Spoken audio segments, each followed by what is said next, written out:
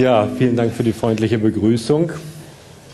Ich möchte Sie auch ganz herzlich begrüßen zu dieser Veranstaltung. Und ich muss gestehen, dass ich mich äh, schon den ganzen Tag darauf gefreut habe, weil es mir die Gelegenheit gibt, wieder in allgemeinverständlicher Weise äh, über die Dinge zu reden, die mir schon seit ja, 30 Jahren am Herzen liegen ähm, und versuchen, Sie auch ein bisschen daran teilhaben zu lassen, dass Mathematik eigentlich eine sehr schöne Sache ist, die einen glücklich machen kann.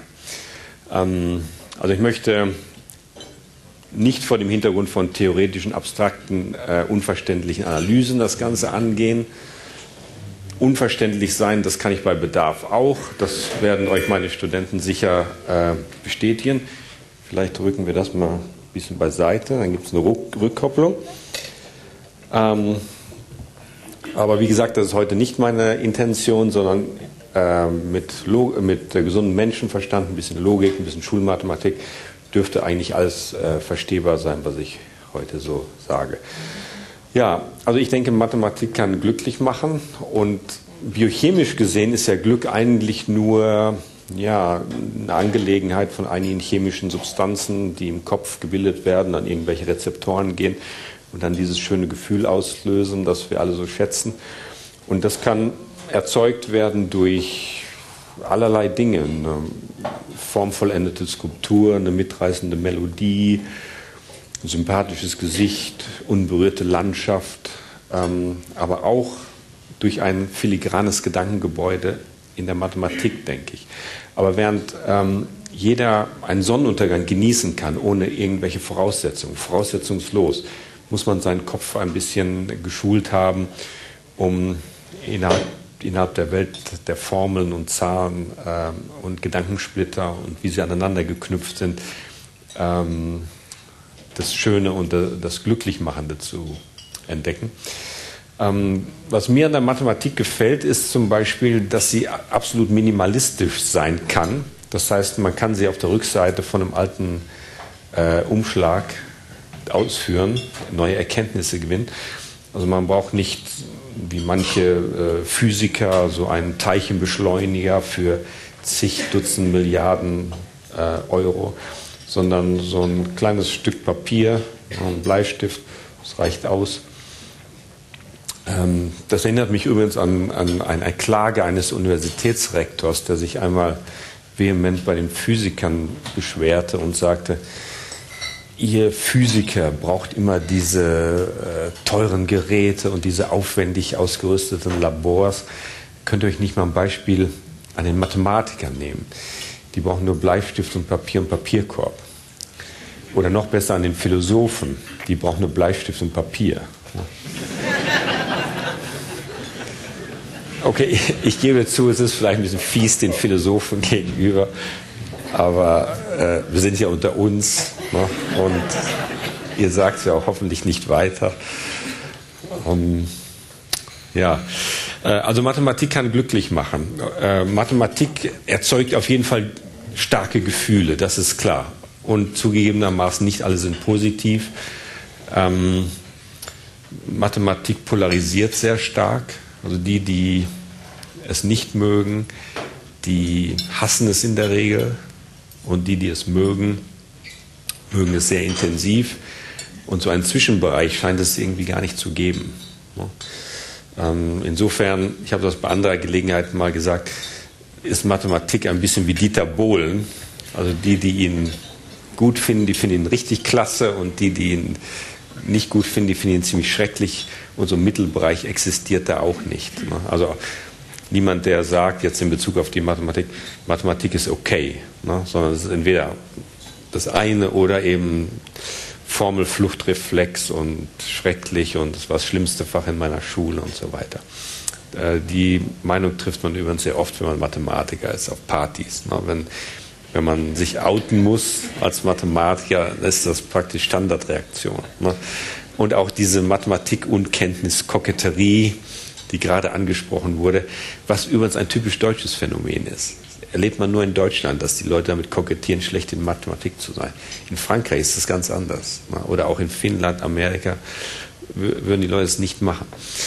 Ähm, Ja, okay, jetzt nach diesem langen Vorspann suche ich vielleicht mal meine Fernbedienung. Ach, die habe ich schon hier oben drin, okay. Und erzähle noch eine andere Geschichte, die ein bisschen was mit Glück zu tun hat. Als die Missionare übrigens im 18. Jahrhundert auf Samoa, wunderschöne Südseeinsel, den Eingeborenen Schulen einrichteten und ihnen Lesen, Schreiben und Rechnen beibrachten, da waren die von der Arithmetik und vom Rechnen sowas von begeistert, dass die Krieger ihre Waffen niederlegten und sich mit Schiefertafel und ähm, Griffel ausrüsteten und sich bei jeder erdenklichen Gelegenheit, praktisch tagesfüllend, sich und anderen kleine Rechenaufgaben stellten. Ne, so 24 durch 6 und so und 18 mal 2.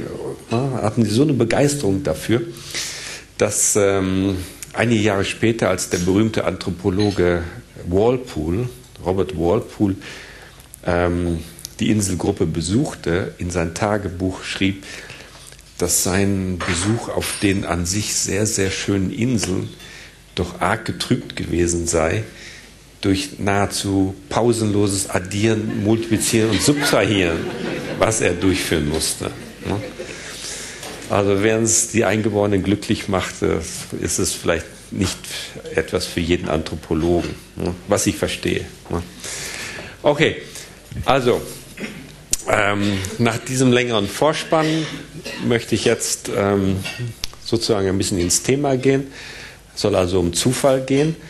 Und äh, viele sind vielleicht überrascht, dass Mathematiker auch was über Zufall sagen können. Ne? Zufall, denken viele, ist so eine, ja, so ein Wirrwarr, unregelmäßig, ohne irgendwelche Struktur, Dinge, die einfach passieren. Ähm, aber das ist nicht so. Also der Zufall ist nicht regellos. Auch der Zufall hat seine Gesetze. Und einiges von diesen Gesetzen oder Eigenschaften äh, wollen wir heute Abend ein bisschen thematisieren. Also Zufall ist unser Leben heißt der Vortrag. Und ich möchte mal beginnen mit einer kleinen Frage an Sie. Was denken Sie ist wahrscheinlicher? Ein Sechser im Lotto mit einer Tippreihe, ne, also sechs Zahlen ausfüllen am Lottozettel, 6 aus 49, das kennt ihr alle.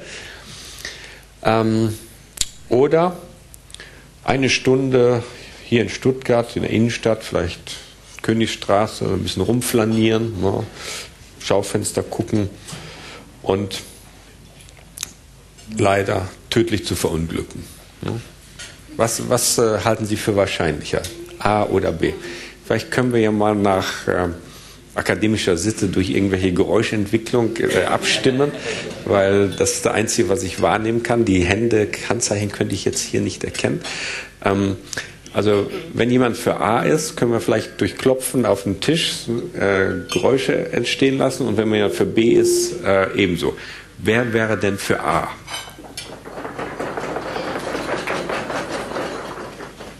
Okay. Und wer ist für B?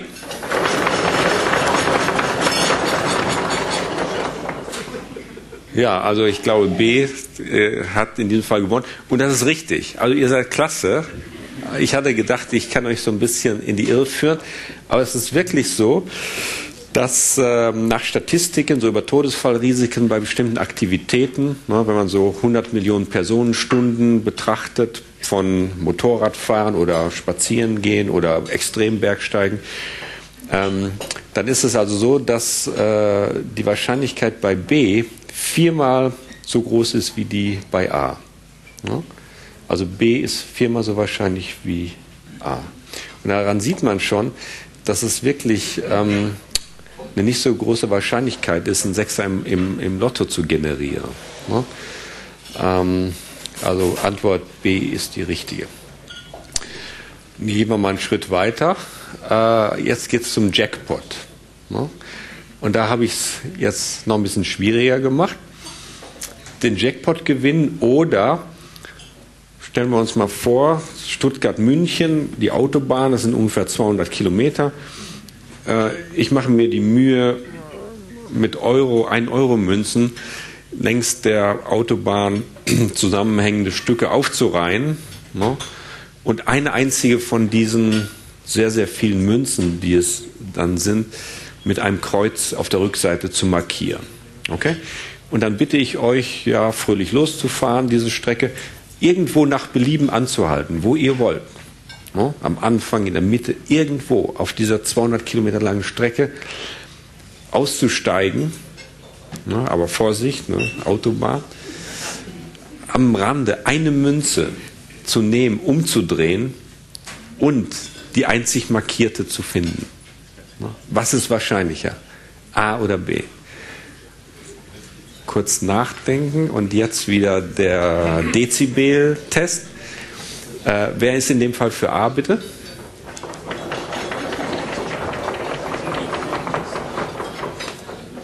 Und wer ist für B? Wow, klasse. Also das ist wieder die richtige Antwort. Ne? Daran sieht man, wie extrem unwahrscheinlich es ist, einen Jackpot zu knacken. Und es ist sogar so, dass es 14 Mal wahrscheinlicher ist, äh, äh, äh, die Wahrscheinlichkeit, die zu B gehört. Das ist 14 Mal wahrscheinlicher. Oder anders gesagt, man könnte diese 200 Kilometer Strecke noch vervierzehnfachen, ne, die Euro-Münzen-Linie vervierzehnfachen auf knapp 3000 Kilometer. Und dann wären diese beiden Wahrscheinlichkeiten etwa gleich. Ne? Also dann könnte man von hier bis, äh, habe ich kurz vorher noch gecheckt, Damaskus ist ungefähr so 3000 Kilometer weit. Damaskus in Syrien. Ne? Könnte man bis dahin fahren. Aber wer will schon heutzutage nach Damaskus fahren? Ne? Noch dazu, um so ein, so ein, so ein Spielchen zu machen. Ne? Und wer will die ganzen Münzen auslegen? Ne? Also es ist nur ein Gedankenexperiment. Ne? Ja, also daran sieht man, wie unwahrscheinlich es ist. Äh, ich habe noch eine andere Analogie, die, auch, äh, die mir auch sehr gut gefällt, wenn man äh, zum Beispiel ein Fußballfeld nimmt. Ganz normales Fußballfeld. Ne? Und irgendwo stellt jemand eine offene Bierflasche hin auf den Rasen. Ne? Und dann fliegt beliebig ein Vogel über dieses Feld und hat so eine kleine Murmel in den Krallen. Und irgendwann entgleitet ihm diese Murmel. Und, wer hätte das gedacht, fällt genau in die Bierflasche rein. Dann haben wir die Wahrscheinlichkeit, noch nicht mal die Wahrscheinlichkeit, äh, den Jackpot zu gewinnen. Es ist nämlich doppelt äh, so wahrscheinlich, dass die Murmel in die Flasche fällt, als dass man den Jackpot knackt. Ne? Aber trotzdem gibt es Woche für Woche Leute, die darauf spekulieren und diese Wahrscheinlichkeit von übrigens 1 zu 40 Millionen ist das für den Jackpot, scheint dann vielen Menschen doch gar nicht so gering. Aber wenn Ihnen zum Beispiel ein Arzt sagen würde, ähm, ja, Sie haben ein Todesfallrisiko von 1 zu 140 Millionen, wäre jeder sehr glücklich, ne? denn das ist, äh, da, das würde man gleich null setzen. Ne? Aber offenbar beim Jackpot, da denkt man, ja, so unwahrscheinlich kann es nicht sein. Es gibt immer Leute, die gewinnen. Ne? Ne? Und das liegt einfach daran, dass es Woche für Woche extrem viele Menschen gibt, die die, die Lotto spielen. Ne? In äh, Deutschland ist es so, es gibt ja das äh, Mittwochslotto, das Samstagslotto. Ähm, Mittwochslotto sind die Einnahmen der Lotteriegesellschaft etwa 30 Millionen im Durchschnitt ne? an äh, getippten Zahlenkombinationen. Beim Samstagslotto sogar 60 Millionen. Und die Hälfte davon wird immer als Gewinn ausgeschüttet. Den Rest sackt die Lottogesellschaft ein. Und ja, dann von diesen ausgeschütteten Gewinnen werden 8% für die Gewinnklasse 6 Richtige äh, ausgeschüttet. Und jetzt gehen wir zu unserer nächsten Frage hier, die Antwort B, noch kurz nachgeliefert. Nächste Frage. Ja, was denken Sie jetzt? Jetzt will ich mal sehen, ob Sie das auch noch richtig hinkriegen. Dann seid ihr wirklich genial. Welcher Geldbetrag ist größer? Ihr Lottogewinn, wenn Sie die Zahlen 1, 2, 3, 4, 5, 6 tippen und diese Zahlen dann tatsächlich kommen? Oder Ihr Lottogewinn, wenn Sie die Zahlen 3, 9, 28, 37, 41, 49 tippen und diese Zahlen dann tatsächlich kommen? Was denken Sie, wann, wann kriegen Sie von der Lottogesellschaft den größeren Betrag über, überwiesen aufs Konto? Wer ist in dem Fall für A?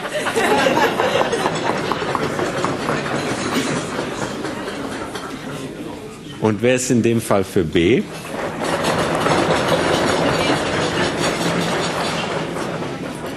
Also ich würde sagen, es, ihr habt wieder für B votiert und auch das ist richtig.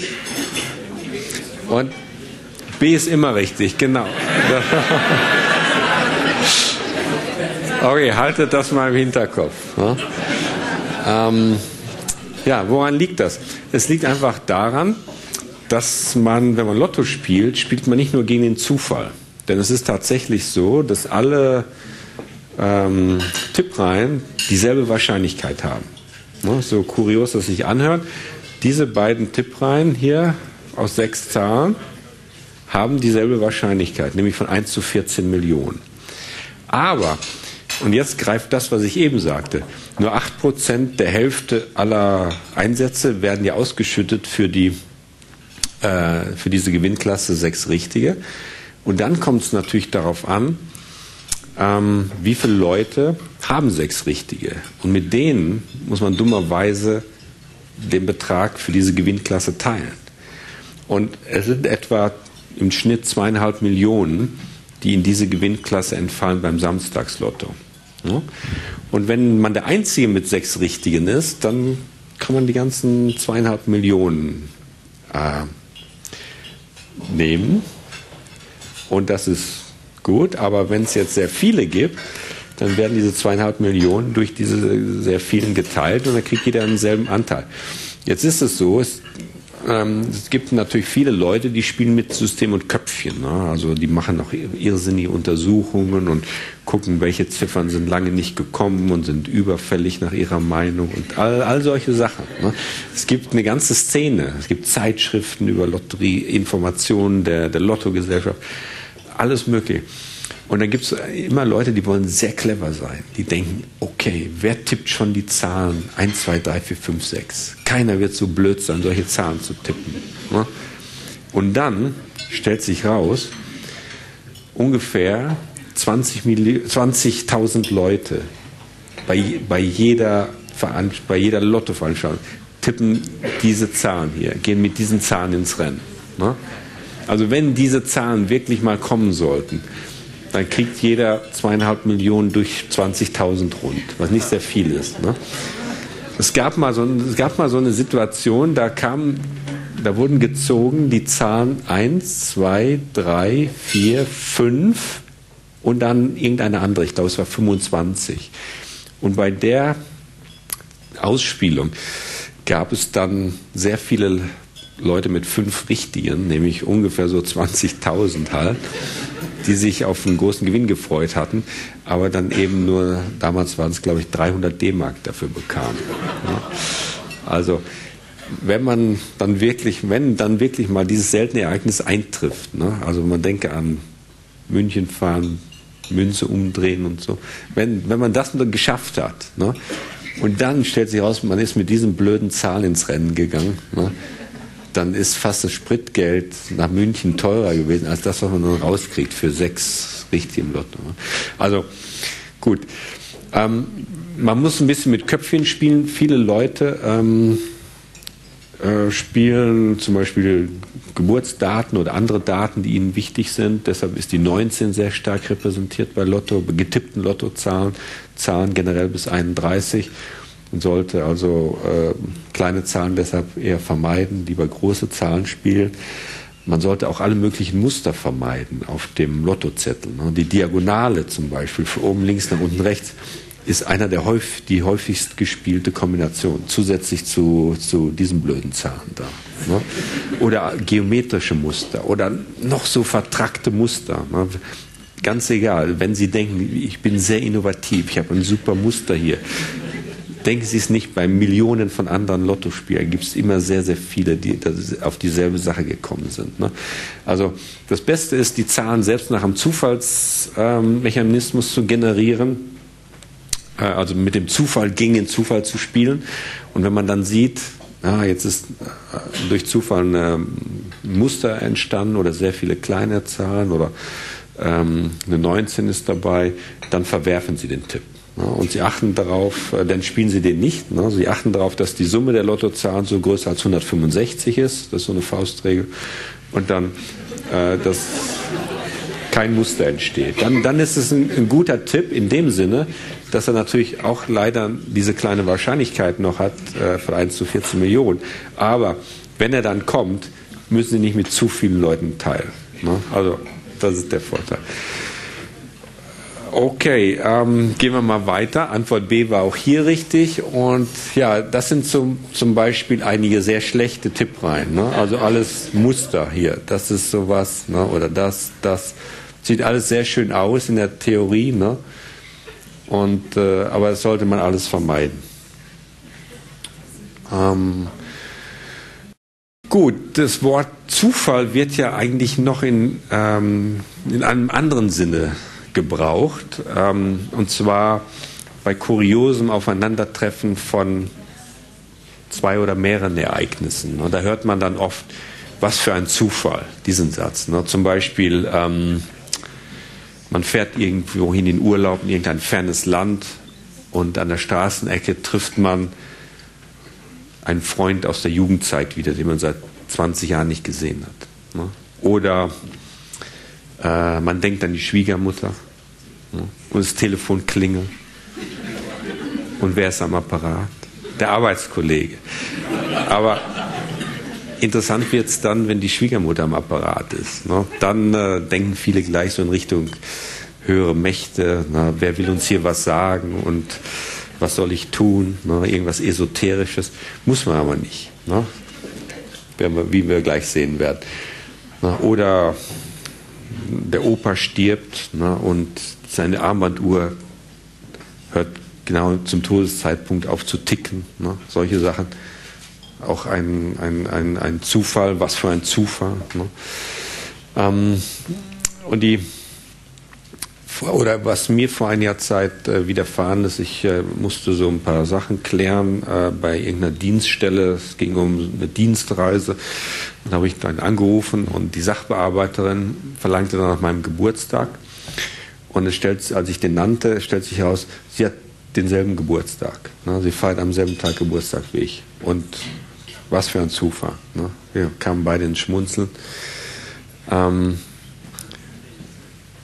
übrigens jetzt Nebenbemerkung, es ging um eine Dienstreise und ich hatte vorher im Beamtenrecht nachgelesen, wo er jetzt gerade auch von Tod gesprochen hat. Das Beamtenrecht ist übrigens sehr interessant. Da steht zum Beispiel ein Paragraph, der lautet, Stirbt der Beamte während der Dienstreise, ist die Dienstreise damit beendet. Das ist kein Witz. Das ist wirklich so. Aber das hat jetzt nichts mit Zufall zu tun, sondern, ähm, sondern mit Beamtenrecht. Ja. Gut, also gehen wir wieder zurück und da kam ich auf diese Idee hier ähm, eine weitere Frage zu stellen. Wie wahrscheinlich ist sowas, doppelter Geburtstag? Ne? Zwei Menschen, die am selben Tag Geburtstag feiern. Also ich meine jetzt nur Tag und ähm, Monat. Ne? Und ich habe mal hier 23 geschrieben. Wie wahrscheinlich ist das? 23 willkürlich ausgewählte Personen und doppelter Geburtstag in dieser Gruppe. Oder dreimal hintereinander eine Sechs würfeln. Was haltet ihr für wahrscheinlicher? Antwort A.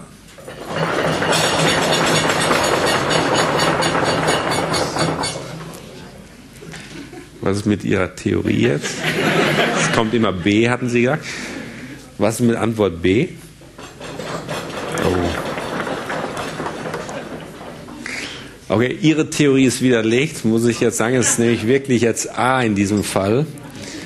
Und da hätte ich jetzt auch gedacht, äh, dass den meisten Menschen das wirklich ähm, kontraintuitiv erscheint, dass hier die richtige Antwort wirklich A ist. Ne? Und es ist, so, ist sogar sehr krass. Ähm, A ist hundertmal so wahrscheinlich. Ne? Es ist hundertmal wahrscheinlicher, dass ich in einer Gruppe von nur 23 Menschen einen doppelten Geburtstag habe. Ne? Also die meisten Leute kombinieren so. Immerhin, es gibt 365 verschiedene Geburtstage. Ähm, wenn ich zum Beispiel 50-50 haben will, dass es einen Doppelten gibt oder keinen Doppelten, dann brauche ich so ein bisschen mehr als 180. Gut, nehmen wir noch ein paar dazu. 190 Leute. Und dann ist es wahrscheinlich so 50-50, dass entweder ein doppelter Geburtstag dabei ist oder nicht. Ne? Und interessanterweise ist die Wahrscheinlichkeit jetzt ähm, sogar 50 Prozent, ist 50-50 tatsächlich, schon bei 23 Personen, dass äh, ein doppelter Geburtstag dabei ist. Und insofern ist es sogar ähm, wahrscheinlicher, Punkt A, selbst wenn ich nur einmal versuche, eine 6 zu würfeln. Na, ich brauche nicht mal versuchen, dreimal hintereinander eine 6 zu würfeln, sondern selbst wenn ich hier geschrieben hätte, eine 6 zu würfeln bei B, dann wäre A immer noch die richtige Antwort gewesen. Ne? Und das erscheint vielen Menschen doch sehr kontraintuitiv. Aber euch sicherlich nicht, denn ihr wart bisher viermal richtig bei Sachen, die ich dachte, okay, das ist nicht so leicht, ne? weil Zufall. äh, das glaube ich nicht. Ähm, und ja, ähm, wie kann man, das kommt vielleicht einigen doch jetzt kontraintuitiv vor, dass es wirklich nur so weniger Menschen bedarf, um einen doppelten Geburtstag zu erzeugen.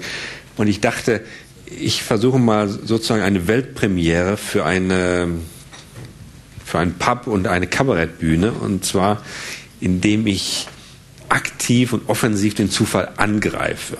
Ja? Und zwar einfach mal das machen, ähm, was Mathematiker eine Simulation nennen, ähm, um zu sehen, ob das Ergebnis Sinn macht. Ne? Und immerhin, wir sind hier auch Personen willkürlich zusammengekommen. Ne? Nicht in Bezug auf äh, den Geburtstag, denke ich. Ne? Jemand gekommen ist oder nicht, hängt vom Geburtstag nicht ab. Das ist meine Vermutung jetzt. Ne?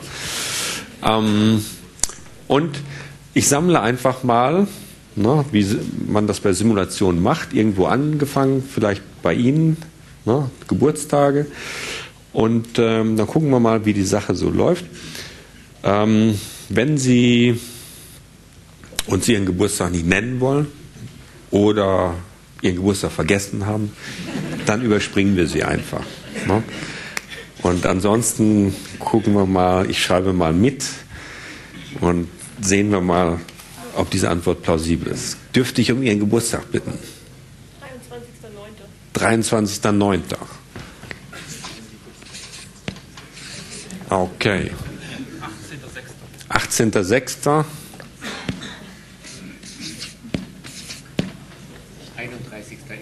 31.01.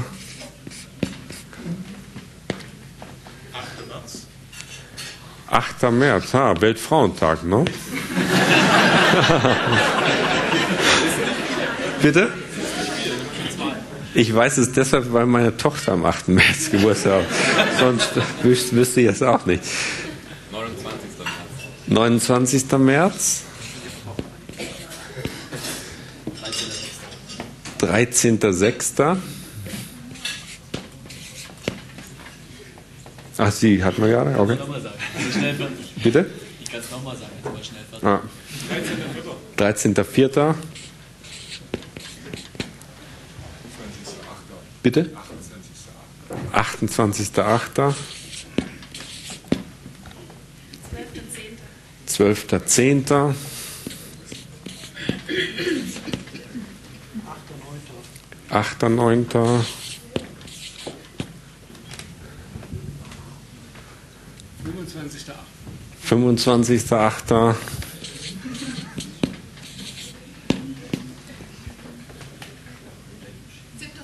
25.8. 7.7. Ah, das ist ja ein schöner Geburtstag. 26.04. Gut, wo können wir weitermachen? Vielleicht bei Ihnen? Hatten Sie schon oder? Wollen Sie auch? Okay. Nicht vordrängen. 17.03.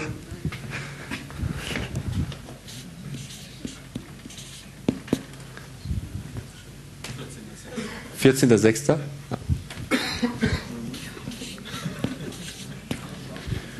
Und Ja, ähm, können wir hier vielleicht runtergehen und dann so Serpentin. 14. April. 14. April.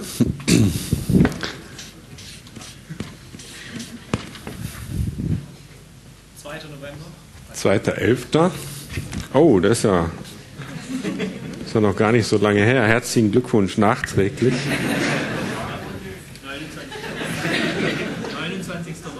29.09. 29.09.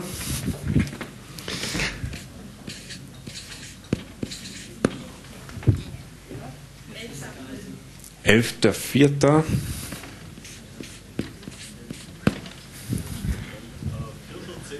Vierter, Zehnter.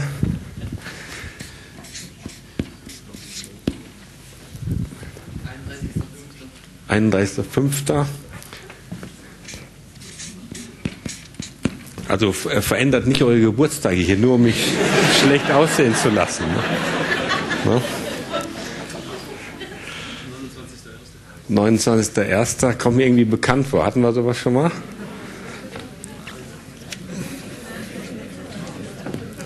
Also ihr müsst vielleicht ein bisschen darauf achten, weil ich habe nicht so den Gesamtüberblick auf die Schnelle. 23.02.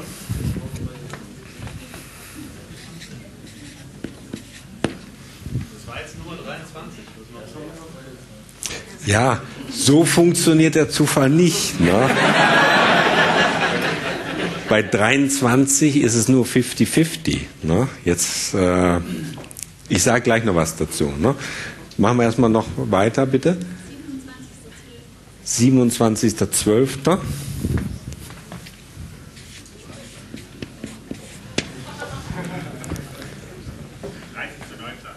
30.09.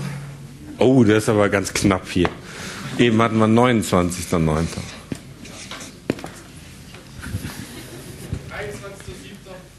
Bitte? 23. Sind Sie sicher, dass Sie am 30.09. gehört Nicht am 29. Nee. Äh, 27.07. war das bei Ihnen? 23.07.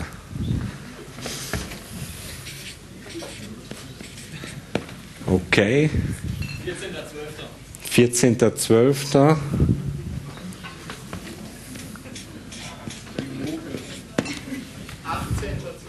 Achtzehnter, Zwölfter.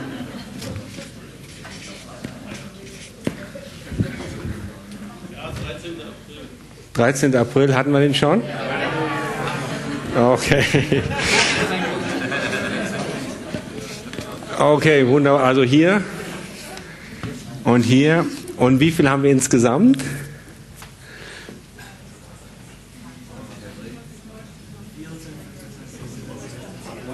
Neunundzwanzig.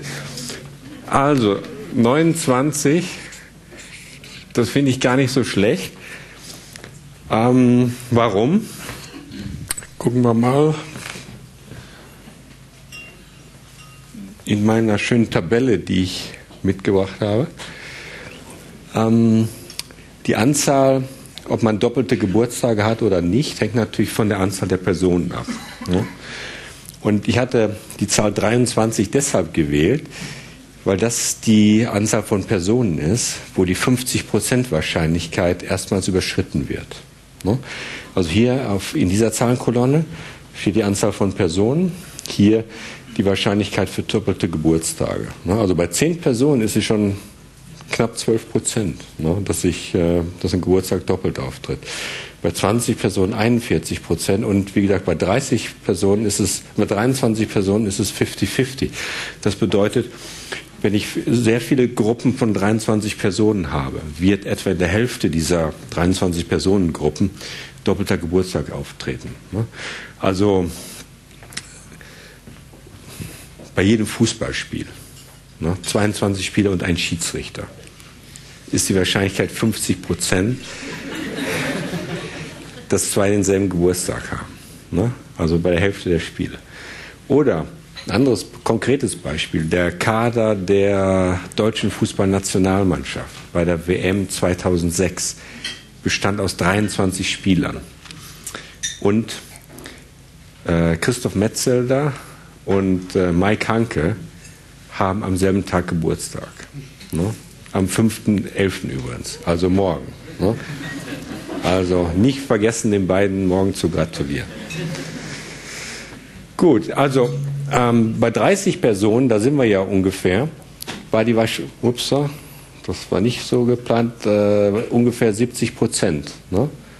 Ähm, wenn man das mehrmals durch äh, exerziert, ne, wird man manchmal schon bei 20 äh, einen doppelten Geburtstag haben. Manchmal muss man vielleicht auch treten Ereignisse ein, die eine kleine Wahrscheinlichkeit haben. Da muss man vielleicht äh, bis 40 hochgehen.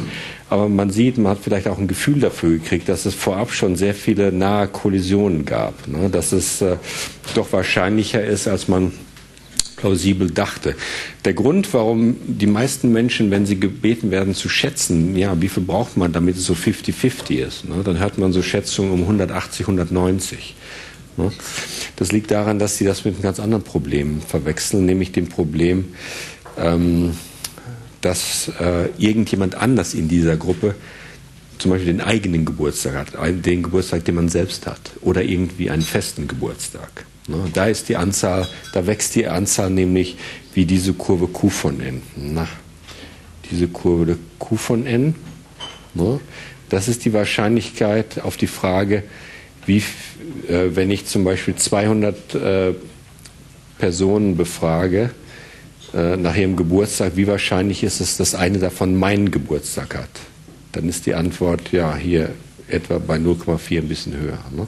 Und das ist die Wahrscheinlichkeit, die wir gerade ähm, berechnet haben, dass es unter beliebigen Menschen ähm, doppelten Geburtstag gibt. Ne? Das liegt eben daran, dass es auch in sehr kleinen Gruppen sehr viele Paare äh, gibt, die ich betrachten kann. Ne? Das wächst sehr stark an, während äh, äh, die andere Fragestellung, wo es mir darauf ankommt, ja, äh, wie wahrscheinlich ist es, dass die meinen Geburtstag haben. Ne? Da, da muss ich eben alle immer mit mir vergleichen, ne? während ich in der anderen Gruppe beliebig Paare vergleichen kann. Das macht den Unterschied und ist der Unterschied äh, zwischen diesen beiden Kurven. Okay, ähm, ja, nützlicher Zufall. Das ist jetzt das nächste Thema. Ähm, Zufall ist nützlich äh, aus vielen Gründen, äh, nicht allein deshalb, äh, ja, weil er Kreativität fördert, ne? ähm, Entwicklung. Man denke nur, wenn, äh, sagen wir mal, die Einzeller in der Ursuppe eine Möglichkeit gefunden hätten, die, die Erbinformation, bevor Zellteilung stattfindet, makellos zu kopieren, ne? dann wären wir heute alle noch Einzeller in der Ursuppe hier. Ne? Dann wäre nichts an Evolution entstanden. Ne? Erst durch Kopierfehler gab es Mutationen, ne? Kopierfehler in Erbsubstanz, Mutationen. Und die meisten waren sicher schlecht, ne? haben nichts äh, an Verbesserung äh, gebracht. Aber einige sind gut, waren gut und haben äh, zur Weiterentwicklung beigetragen. Also Zufall fördert Kreativität und Entwicklung. Und auch in der Mathematik gibt es sehr viele ähm, Verfahren, die den Zufall ähm, sehr geschickt äh, verwenden. Da will ich jetzt nicht drauf eingehen, ist teilweise sehr vertrackt. Ich habe noch eine andere spielerische Anwendung. Ähm, und zwar nehmen wir einfach mal eine beliebige Seite einer beliebigen Zeitung. Zum Beispiel die Frankfurter Allgemeine Sonntagszeitung vom 23.06.2013. Und die habe ich tatsächlich mal an diesem Sonntag gelesen und der erste Artikel auf der ersten Seite, da ging es um die Drohnen, um de Maizière und die ganze Angelegenheit damals, ne, die sogenannte Affäre. Ähm, und dann machen wir uns mal die Mühe, wir schreiben alle Zahlen auf oder Zahlworte, aber nur unter dem Gesichtspunkt, dass wir die Anfangsziffer festhalten. Ne? Und wenn man das so macht, dann steht irgendwann der Satz, jede siebte Drohne stürzt ab und dann notieren wir eine 7 dann etwas später, das nächste Zahlwort ist, Abgeordnete wurden zweimal falsch informiert, dann schreiben wir eine 2. Von 871 Drohnen gegen 124 durch Unfälle verloren. Das liefert eine 8 hier bei dieser Zahl. eine 1 bei dieser. Also es geht immer nur um die Anfangsziffer, nichts weiter. Ne? Irgendwann steht 0,5 Promille und es geht um signifikante Anfangsziffern. Also die Null zählt nicht. Ne? Na gut, dann mache ich das, vielleicht die ganze Zeitung. Na, okay, ist zugegebenermaßen ein bisschen eine krasse äh, Art, den Sonntagmorgen zu verbringen. Ne? Aber Mathematiker machen solche Sachen ne? und gucken einfach mal, wohin das führt. Ne? Zum Beispiel führt das jetzt auf diese Frage hier. Ne? Wer hätte das gedacht?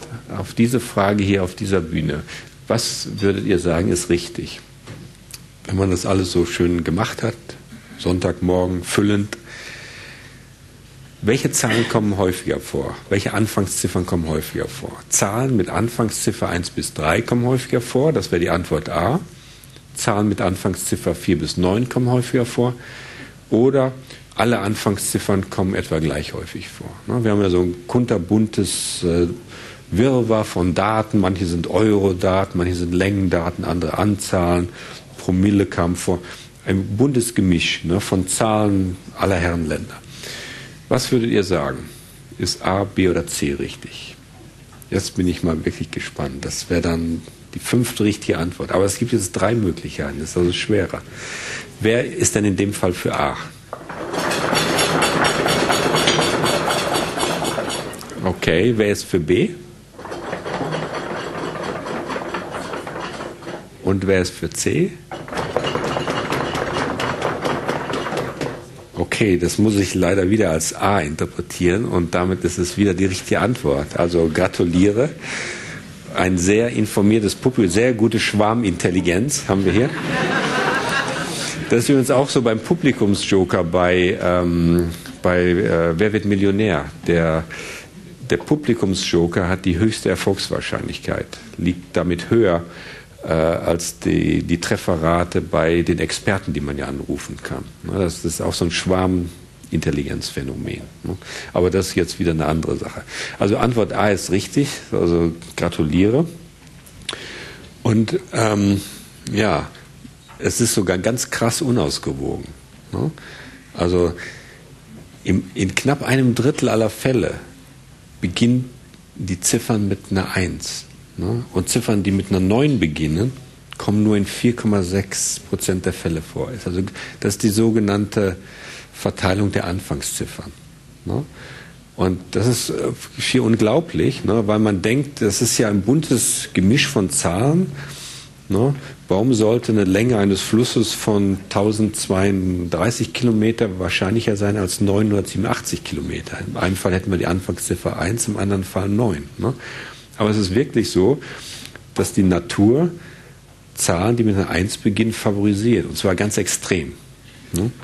Nach diesem Muster etwa. Ne? Ähm, das kann man auch durch ein kleines äh, Spielchen ähm, bestätigen. Das können Sie mit Ihrem Lieblingsfeind spielen. Ne? Ähm, also zwei Personen, sagen wir mal Sie und ich, wählen drei beliebige Begriffe für die wir die Google-Zählung machen. Also in Google eintippen und dann suchen, kriegt man ja so eine Aufstellung, auf wie viele Seiten dieses Wort ähm, dann auftaucht. Und ich gewinne, falls öfter die Zahlen mit Anfangsziffer 1, 2 oder 3 kommen, unter diesen sechs gewählten Begriffen. Sie gewinnen, falls öfter Zahlen mit Anfangsziffer 4, 5, 6, 7 oder 8 oder 9 kommen. Na, das hört sich jetzt gut an ne, für uninformierte Leute, natürlich nicht für Sie, ne, Sie wissen das, ne, aber für jemanden, der einfach so intuitiv drüber nachdenkt, aus dem Bauch heraus, ja, gut, ich habe hier viel mehr Chancen, ne, doppelt so viele Chancen, ne, ist also sichere Geldeinnahmen. Ne. Aber es ist wirklich so, dass das Spiel ungünstig ist für Sie. Denn wenn man zum Beispiel diese Zahlen hier addiert für 1, 2 und 3, 30, 17,6 und 12,5, ist man äh, bei rund 60 Prozent. Ne? Also die, die Chance ist für mich 60 zu 40, dass ich das Spiel gewinne. Ne? Interessanterweise. Und ähm, ja, ich habe mal, als ich hier dieses, diese Folien vorbereitete, habe ich äh, einfach so ein paar Begriffe, die mir gerade da präsent waren, ähm, einfach so notiert. Zum Beispiel ähm, habe ich da vor ein paar Tagen an Kindergeburtstag gedacht. Der, der Geburtstag von meiner Tochter kam eben schon zur Sprache. Mein Sohn hat zufälligerweise heute Geburtstag. Also vor ein paar Tagen habe ich an den Kindergeburtstag gedacht, am 4. November. Dann habe ich den Begriff eingegeben, 5,1 Millionen bei der Google-Zählung. Dann war das der Tag, an dem ich meinen Schlüssel verloren hatte. Dann habe ich das auch mal eingegeben. Und das war 125 Millionen Google-Zählung. Dann äh, sprach ich mit einer japanischen Studentin nach äh, der Vorlesung und die sagte, dass es auch im Japanischen eine ganze Reihe von Worten gibt, die aus dem Deutschen stammen. Zum Beispiel das Wort, das japanische Wort für Rucksack lautet Rokusaku. Ne? Das stammt aus dem Deutschen etymologisch. Also habe ich das auch mal eingegeben. Gab 1240 bei der Google-Zählung. Ne? So viele Seiten mit Rokusaku. Und dann die Sachen, die sich so auf den heutigen Abend bezogen, das Wort Zufall, Leben, Science Pub. Und hier sind die Google-Zählungen und man sieht wirklich, hier haben wir eine 1, hier haben wir eine 1, hier haben wir eine 2, hier haben wir eine 1. Vier von sechs Fällen äh, würden für mich entscheiden und zweimal eine Ziffer, die für sie entscheiden würde. Ne? Ähm, also es ist äh, tatsächlich so, und das ist diese wunderbare Benford-Verteilung und das Benford-Gesetz. Und man hat vielleicht nicht das Gefühl, man kann da irgendwas mitmachen, aber man kann ganz tolle Sachen damit machen. Und zwar, wenn Leute ne, Daten fälschen oder irgendwie Zahlen einfach so ein bisschen manipulieren, und solche Leute soll es ja geben, ne, ähm, dann kann man denen manchmal mit der Benford-Verteilung auf die Schliche kommen. Ne? Weil die Benford-Verteilung ist extrem weit verbreitet. Ne? Zum Beispiel bei äh, Finanzdaten, bei allen möglichen Daten, von, die über mehrere Größenordnungen gehen oder bunt gemischt sind, tritt diese Benford-Verteilung auf. Ne? Also sehr viele da, große Datensätze sind Benford-artig. Zum Beispiel auch die Daten, die man bei der Steuererklärung, die Zahlen, die auf der Steuererklärung auftauchen. Und wenn zum Beispiel jetzt Leute ihre Steuererklärung so ein bisschen manipulieren, dann machen die das in der Regel nicht mit dem Benford-Gesetz im Hinterkopf. Na, denn sind nicht alle so wie Sie, die das immer na, gleich wissen und so, wie man es machen muss, na, was die richtige Antwort ist und so. Äh, die denken, okay, eine 9 kommt genauso häufig als Anfangsziffer vor, also schreibe ich mal statt 10.500 Euro Gewinn, schreibe ich einfach mal nur 9.000 Euro Gewinn. Ne? Und ähm, dann ändert sich das Gefüge der Anfangsziffern. Und die amerikanische Steuerbehörde macht das mittlerweile so, dass sie routinemäßig Steuererklärungen auf Benford-Artigkeit untersucht. Und wenn dann der Computer piepst, dann ist irgendwas irregulär. Das heißt natürlich noch nicht, dass der oder diejenige Steuererklärung bisschen manipuliert hat. Aber es ist verdächtig. Ne? Und dann schaltet sich die Steuerfahndung ein und dann wird die Steuererklärung ein bisschen genauer unter die Lupe genommen. Ähnlich ist es bei Wahlmanipulation. So konnte man zum Beispiel mit diesem Benford-Ansatz relativ sicher nachweisen, dass die Wahl ergibt, die Wahl in, im Iran vor einigen Jahren, als Ahmadinejad gewählt wurde, äh, Unregelmäßigkeiten aufwies. Ne? Es gab also rund 340 äh, Wahlkreise und die abgegebenen Stimmen hätten sich Benford-artig verhalten müssen, weil es gab sehr kleine Wahlkreise, große, gab also Streuungen über viele Zehnerpotenzen und solche Daten verhalten sich Benford-artig. Aber nach der Auszählung war das anders, war völlig Benford-unartiger äh, Datensatz. Und das war ein Hinweis darauf, dass da irgendwas äh, Komisches gelaufen ist mit diesen Daten. Oder ganz allgemein Datenfälschung. Also Wissenschaftler oder andere Menschen, die Datensätze fälschen und dabei nicht das Benford-Gesetz äh, im, im, Kopf haben. Ne? Die erzeugen dann manchmal Datensätze, die eine andere Anfangszifferhäufigkeit haben als nach Benford. Okay, also es gibt sehr viele Anwendungen, selbst für, sagen wir mal, Mathematiker, die an einem Sonntagmorgen Frankfurter Allgemeine Sonntagszeitung auf Anfangsziffern durchlesen. Ne? Also wohin das führen kann, ne? dass vielleicht irgendjemand mal wegen Steuerhinterziehung dann in dem Gefängnis landet. Ne? Gut, also die, es gibt unbegrenzte Möglichkeiten der Mathematik, selbst von kuriosen Anfängen von nichtssagenden Sonntagvormittagen. Aber lassen wir es mal dabei und ziehen noch eins weiter. Man kann noch kuriosere Sachen machen. Man kann mit Stangenbroten Mathematik machen. Ne? Und da will ich kurz darauf eingehen. Newtons Apfel ist, äh, ist eine bekannte Metapher. Ne? Newton saß irgendwo, Apfel fiel runter, Gravitationsgesetz irgendwann, ne? Erdanziehung. Was nicht so bekannt ist, ein anderer Wissenschaftler, das war ein Graf, Georges-Louis Leclerc, auch Graf de Buffon genannt. Und der schaut irgendwann mal aus dem Fenster und da war ein Bäcker, ähm, der lieferte Baguette und die fielen ihm runter. Und ein Baguette schnitt sozusagen die Grenzlinie zwischen Straße und sozusagen Bürgersteig.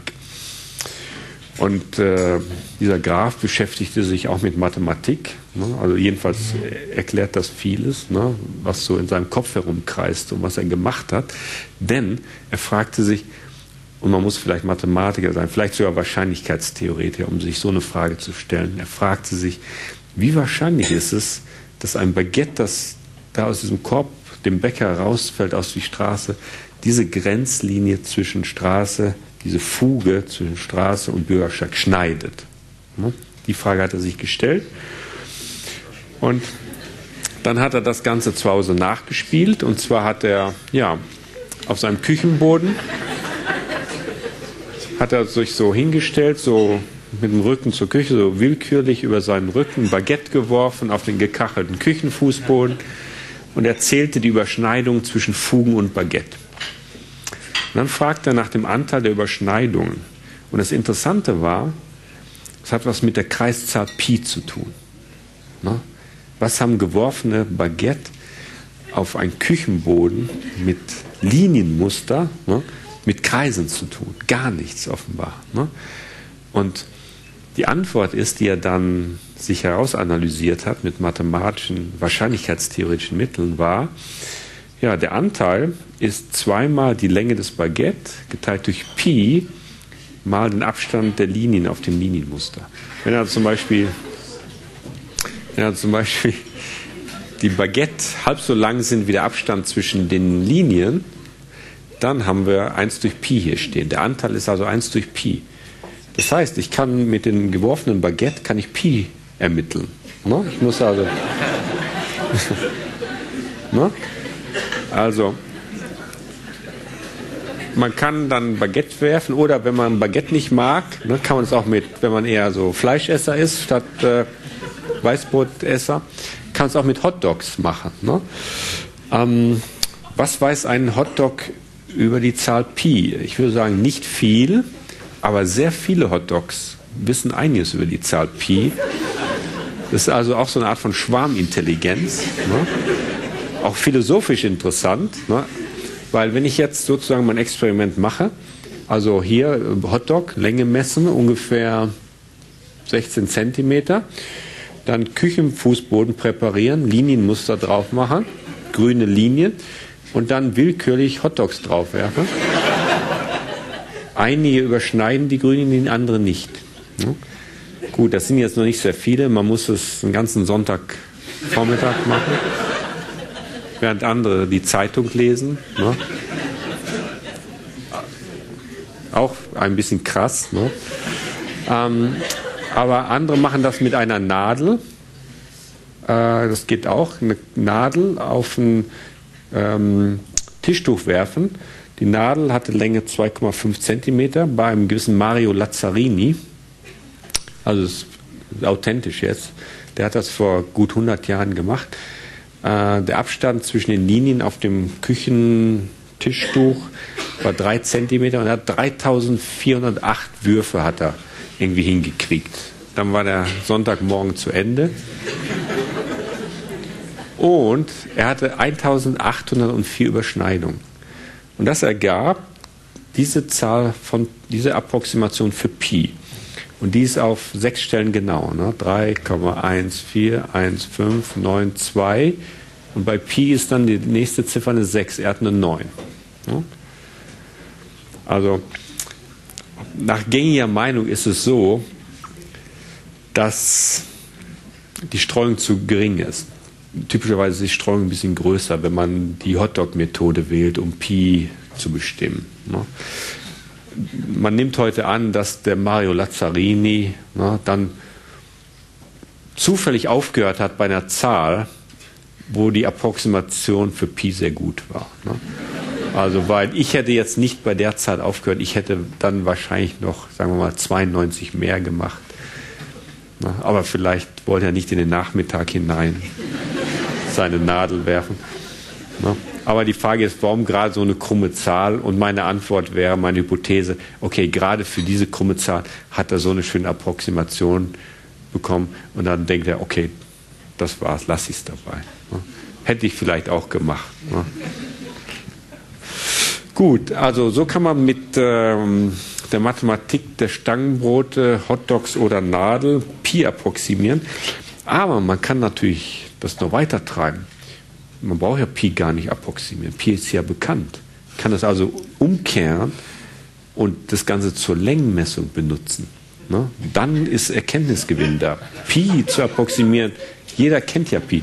Man kann dieses Hotdog werfen als Längenmessung für ganz kuriose äh, Kurven benutzen, wie zum Beispiel diese Kurve. Wie lang ist diese rote Linie?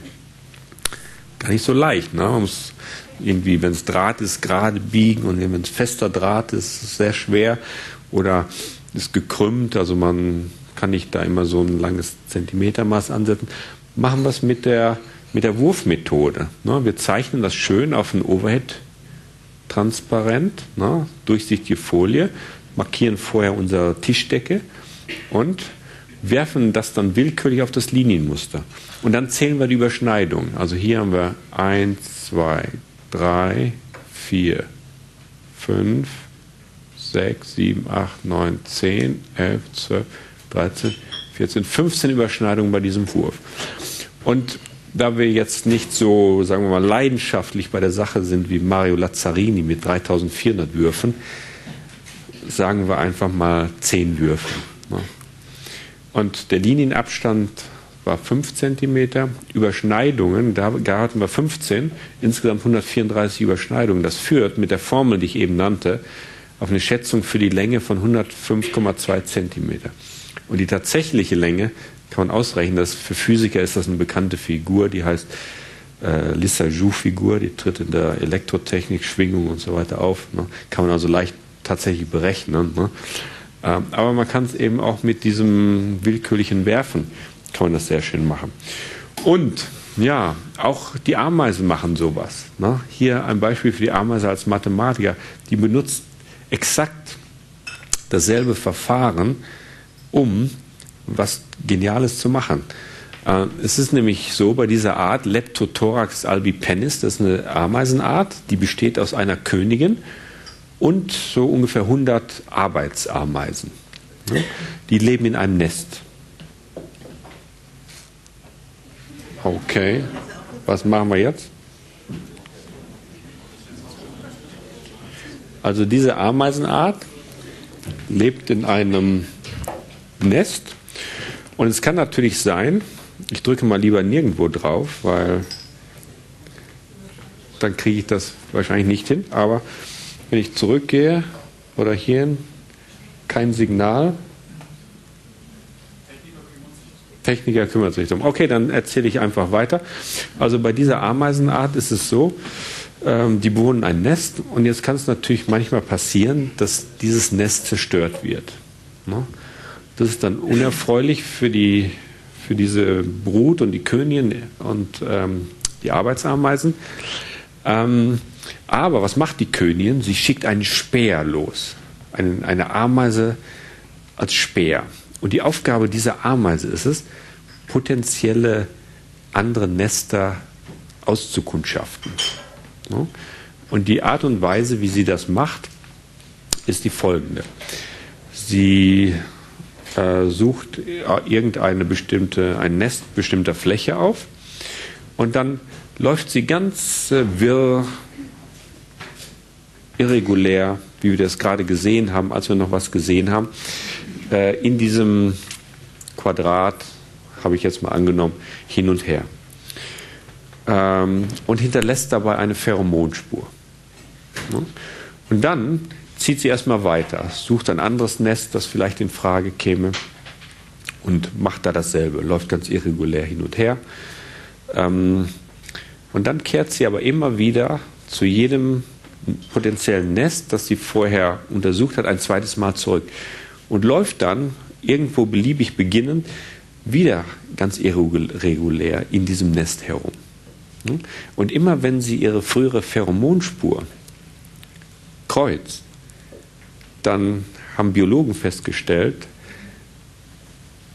zögert sie ein bisschen, so als wenn sie einen Schalter weiterdrehen würde. Wenn sie also sozusagen diese Überschneidung zählen würde. Und ähm, mathematisch kann man beweisen, dass genauso wie bei dem Buffons äh, eben, den wir gesehen haben, es kommt auf die Überschneidungen an und aus der Zahl der Überschneidungen kann ich auf die Länge der Nadel schließen. Und das geht auch bei Flächen. Na, man kann sich vorstellen, wenn die Fläche sehr groß ist und ich einen Weg bestimmter Länge habe und einen anderen äh, ebenso wirren Weg bestimmter Länge, ähm, wenn die Anzahl der Überschneidungen sehr groß ist, dann äh, habe ich eine sehr kleine Fläche vor mir. Das ist also umgekehrt proportional ähm, äh, zu der Anzahl dieser Schnittpunkte. Ne? Wenn äh, ich viele Schnitte habe, ist klein. Wenn ich nur selten meine frühere Spur treffe, muss das Gebiet sehr groß sein. Das ist also umgekehrt proportional. Und es ist so, das haben Systembiologen herausgefunden. Systembiologie ist übrigens so eine neue äh, Wissenschaft, die äh, eine sehr stark mathematisierte Form der Biologie ist. Also wo Mathematiker und, Physik, äh, und Biologen zusammenarbeiten oder äh, wo, wo Biologen sehr viel Mathematik noch zusätzlich äh, äh, hören an Vorlesungen, damit sie auch in der Mathematik fit sind. Oder umgekehrt Mathematiker Biologievorlesungen hören, damit, sie, äh, damit, damit beides Wissen sozusagen zusammenkommt. Und da gibt es zwei, die haben das genau untersucht, also die, die Formel zwischen Fläche und Länge dieser äh, Wege und der Anzahl der Schnitte. Ne? Und da haben sie Experimente gemacht. Es ist tatsächlich so, dass die Späher ihrem Stamm nur dann ein Nest vorschlagen, wenn es genau die richtige Größe hat.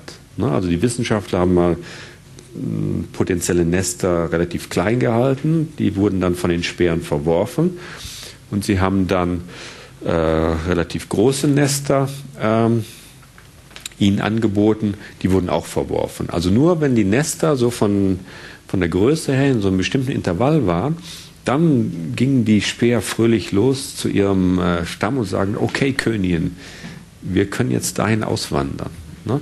Das ist der, exakt derselbe Algorithmus und das finde ich schon extrem faszinierend. Ne? Also hier ist diese erste Spur, ne? einfach wir mal hier durchgehen, dann raus, nächstes Nest und dann kommt man irgendwann wieder, kommt vielleicht hier oben dann rein und aha, hier Pheromonspur, Schalter eins weiterlegen, hier ein weiterer Schnittpunkt. Also die Schnittpunkte werden gezählt und dann am Ende, ja, die Ameise als Mathematiker. Diese Beziehung besteht zwischen den Zufallswegen Rot und Blau und den Überschneidungen. Die Fläche ist nämlich, ja, dieses Produkt hier durch n mal Pi, taucht auch wieder Pi auf. Ne? Also ich finde sowas faszinierend, dass die Natur sozusagen diesen Algorithmus in Ameisen eingebaut hat. Eine Ameisen noch dazu, die nur ungefähr 200.000 Gehirnzellen haben. Ne? Was die mit 200.000 Gehirnzellen alles können. Es gibt sogar eine Ameisenart, die kann Vektoraddition machen mit 200.000 Gehirnzellen. Besser als jeder von meinen Studenten, ehrlich gesagt. Ne? Obwohl, das hätte ich vielleicht nicht sagen sollen. Ne? Besser als einige wenige von meinen Studenten, sagen wir es mal so. Ähm, und zwar, wenn die zum Beispiel, das ist eine andere Ameisenart, aus ihrem Bau kommen, dann machen die manchmal so irreguläre Suchläufe, bis sie zur Beute kommen. Ne? Bis, vielleicht bis da. Da haben sie irgendwas an Beute gefunden und sind dann manchmal durchaus 40, 50, 60 Meter von ihrem Bau entfernt. Dann gehen sie jetzt natürlich nicht denselben Weg wieder zurück, sondern Sie gehen auf direktem Wege zurück. Und sie verwählen den Bau im Grunde nur um wenige Zentimeter. Und das schaffen sie, indem sie immer, wenn sie eine Richtungsänderung machen, dann machen sie Vektoraddition. Da gibt es tatsächlich Neuronen in deren Kopf, die, die für das Rechnen mit Vektoren äh, zuständig sind. Die können nämlich die Polarisierungsrichtung des Lichtes können die wahrnehmen und dann äh, sehen, okay, jetzt mache ich wieder eine Richtungsänderung muss ich also jetzt wieder äh, den Vektor dazu addieren und am Ende, wenn ich alle Vektoren addiert habe, kehre ich das einfach um und dann ne, komme ich zum Bau zurück. Also schon sehr gewieft, was die Natur teilweise mit 200 äh, äh, 1000 Neuronen alles so zu Wege bringt. Ja, gut, aber jetzt kommt man natürlich selten in die Verlegenheit, so als Ameisenspäher irgendwelche Nester auszukundschaften, also als Mensch. Und deshalb dachte ich mir, ich versuche auch noch ein bisschen pädagogisch zu sein, irgendetwas, das uns allen für den Alltag ein bisschen nützt. Und zwar etwas Medizinisches. Das spielt ja in unser aller Lebenswelt hinein. Ähm, nehmen wir mal an, es, es gäbe eine seltene Krankheit, die habe ich jetzt mal Megakrebs genannt. Äh, und die kommt im Schnitt in der Bevölkerung bei einem von 10.000 Menschen vor. Einer von 10.000 hat es.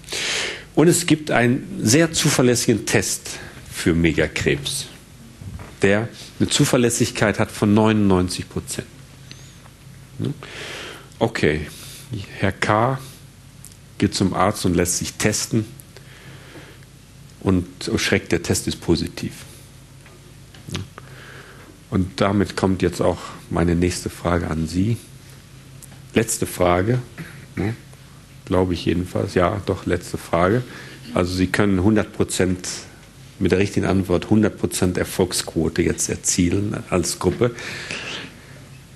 Test war 99 Prozent zuverlässig. Wie wahrscheinlich ist es, dass Herr K. Krebs hat? Ne? Also wie gesagt, der Test war positiv. Wie wahrscheinlich ist es, dass er tatsächlich Krebs hat?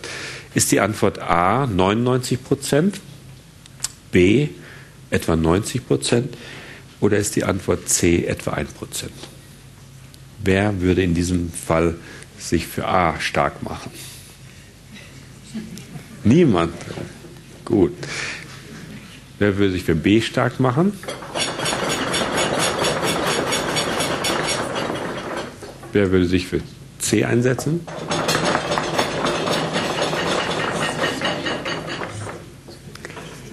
Jetzt müsste ich fast nochmal abstimmen lassen, welches von B und C irgendwie stärker war. Ich hatte jetzt das Gefühl, B war die. Ist das, habe ich das richtig hier gehört? B, ihr habt für B. Es war unentschieden. Ne? Unentschieden. Und äh, deshalb gebe ich euch tatsächlich einen halben Punkt, denn die Antwort ist wirklich C. Ne? Also in kurioser und interessanter Weise ist die Wahrscheinlichkeit nur ein Prozent, ne, dass selbst bei diesem zuverlässigen Test, der eine zu, eine Erfolgsrate von 99 Prozent hat, dass Herr K. wirklich Krebs hat. Und das ist wirklich kurios, aber man kann es plausibel machen. Schauen wir mal so ein Baumdiagramm an. Das ist manchmal ganz nützlich, um solche Situationen zu analysieren. Also hier vorne ist Herr K. Und bevor er zum Arzt geht, ist das die Wahrscheinlichkeit, die für ihn relevant ist. Ne? Wir hatten ja gesagt, eine von 10.000 Menschen in der Bevölkerung hat diese Krankheit. Ne? Und das gilt auch für Herr K. Ne? Er kann dieser eine sein oder kann einer von den 9.999 anderen sein. Also die Chance ist 0,0001 als Wahrscheinlichkeit gegen diese Zahl. Ne? Das, ist, das führt zu Krebs mit dieser Wahrscheinlichkeit, das zu kein Krebs mit dieser Wahrscheinlichkeit. Okay, jetzt kommt die zweite Stufe. Herr K. lässt sich testen und ähm, Test positiv und Test negativ. Beides kann sein. Aber das eine kommt natürlich wegen der sehr großen Zuverlässigkeit des Tests häufiger vor. Ne? Jemand, der Krebs hat, wird mit 99-prozentiger Wahrscheinlichkeit dann auch dieses positive Testresultat erhalten. Ne? Das ist eben die große Zuverlässigkeit des Tests. Und nur in einem Prozent der Fälle wird der Test dann fälschlich sagen, okay, du bist gesund. Ne? Hier ist es anders. Hier sind wir in der Situation kein Krebs. Ähm, Test ist da negativ, 99 Prozent, wie es sein soll, und macht mit 1 prozentiger Wahrscheinlichkeit einen Fehler. Ne? Ähm, jetzt ist das sozusagen der Verlauf durch dieses Diagramm von Herrn K., der keinen Test gemacht hat und dann einen Test macht. Aber wenn der Test gemacht ist, dann müssen wir das Ganze sozusagen von hinten aufrollen. Wenn der Test gemacht worden ist und das Testergebnis liegt vor und war positiv, dann wissen wir, okay, das ist entweder dieser Fall hier oder es ist dieser Fall. Dieser Fall hier ist nicht weiter gravierend. Na, dieser Fall besteht darin, ich habe keinen Krebs, aber der Test hat einen Fehler gemacht. Na? Gutartig alles. Na? Dieser ist der krasse Fall. Ich habe Krebs und der Test hat es richtig verkündet. Jetzt muss man schauen, welcher von diesen Fällen ist wahrscheinlicher? Muss man sich die Zahlen anschauen. Hier steht eine, eine sehr große Zahl, groß im Sinne von nahezu 1, fast 1. Und ähm, hier steht auch eine Zahl, fast 1. Ne? Also das kann man zu 1 setzen, ohne groß einen Fehler zu machen. Aber hier steht jetzt eine sehr kleine Zahl und hier steht eine Zahl, die 100 mal so groß ist. Es ist also extrem viel wahrscheinlicher, nämlich also rund 100 Mal wahrscheinlicher, dass dieser der relevante Pfad ist, als dass dieser der relevante Pfad ist. Insofern steht es also nach dieser Analyse ungefähr 100 zu 1 zugunsten dieses Pfades. Und dieser Pfad bedeutet kein Krebs. Dieser Pfad bedeutet Krebs. Oder wenn Ihnen das Argument noch nicht so zusagt, kann man es auch auf die Zahlenebene runterbrechen. Nehmen wir mal diese äh, 10.000 Personen an, die getestet werden. Einer davon hat Krebs, ne, im Schnitt. Ich spreche nur im Schnitt. Ja, der Test ist sehr zuverlässig, aber trotzdem 99-prozentige Zuverlässigkeit bedeutet, nur 99 von 100 werden richtig getestet. Einer von 100 wird falsch positiv getestet. Und von diesen 10.000 Personen sind das, sind das dann 100 von 10.000 Personen, die falsch positiv getestet werden, die also beunruhigt werden ne, durch dieses falsch positive Testergebnis. Aber nur einer hat Krebs. Ergo, 99 von 100 erhalten eine falsch positive Krebsdiagnose. Ne? Ist also ein wahrlich ein Paradoxon. 99 Prozent zuverlässiger Test, den wir ja haben, ergibt 99 Prozent falsche Krebsdiagnose. Und das ist keine Spielerei. Das ist ähm, eine Sache, die sich ja, fast überall bewahrheitet. Die meisten Alarme sind falsche Alarme. Also wenn Sie irgendwann mal positiv testen sollten auf irgendeine Krankheit, denken Sie an dieses Beispiel. Ne? Lassen Sie auf jeden Fall eine zweite, dritte Meinung einholen. Ne? Die Frage, die sich, die sich natürlich jetzt hier anschließt, ist, okay, was für einen Sinn macht es dann überhaupt, sich so einem Test zu unterziehen, wenn, äh, selbst wenn der positiv ist, ich habe dann nur die Krankheit mit 1% Wahrscheinlichkeit. Die Antwort ist, wenn der Test negativ ist, dann können Sie so gut wie sicher sein, dass Sie die Krankheit nicht haben. Wenn der Test negativ ist, dann ja, ist das hier der extrem äh, hier, der extrem wahrscheinliche Pfad. Ne? Hier eine große Zahl, hier eine große Zahl. Wenn der Test negativ ist, haben wir hier eine sehr kleine Wahrscheinlichkeit. Der, der ähm, Krebs muss vorliegen und der Test muss sich geirrt haben. Beides kommt extrem selten vor. Ne? Das noch seltener als das. Und die Kombination noch seltener. Also man kann zusammenfassen, wenn ein medizinischer Test negativ ist, kann man im Grunde darauf vertrauen. Ne? Aber wenn er positiv ist, ist die Wahrscheinlichkeit trotzdem noch relativ gering, äh, jedenfalls nicht so hoch wie die Zuverlässigkeit des Tests, dass man die Krankheit hat. Und selbst viele Ärzte wissen das nicht. Also es gibt Psychologen, die haben Experimente gemacht mit Medizinern, die haben ihnen im Wesentlichen diese Frage gestellt. Und die meisten siedelten also die Wahrscheinlichkeit, dass der Patient dann bei so einem Testergebnis Krebs hat, so bei etwa 90 Prozent an. Ne? Und ähm, ja, was völlig falsch ist. Ne? Also man muss auf jeden Fall eine zweite oder manchmal sogar eine dritte Meinung einholen.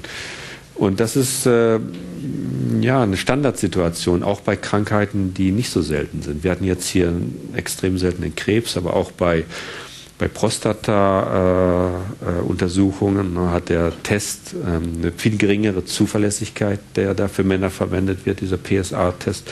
Oder bei Schwangerschaftstests, da ist natürlich die Wahrscheinlichkeit dann typischerweise höher, weil man macht den ja nur, wenn man einen Verdacht hat. Na, und dann ist also schon eine bestimmte Vorauswahl getroffen. Ne? Aber selbst Schwangerschaftstests haben diese, dieses falsch positive Paradoxon äh, generell jede Art von Alarm, auch Feueralarme. Ne?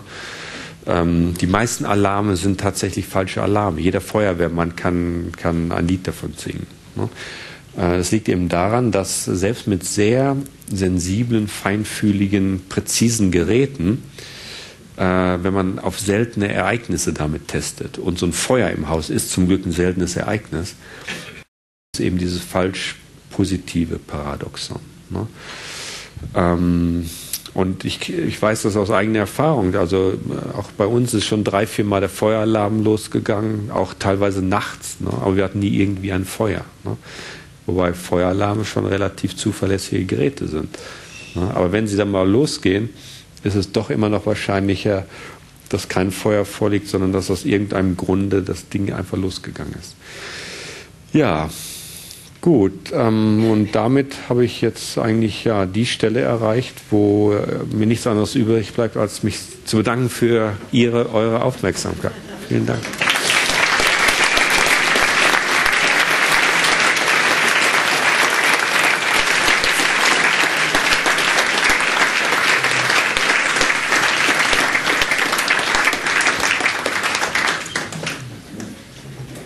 Hesse, Sie haben hemmungslos überzogen und ich könnte Ihnen noch eine Stunde zuhören, mindestens.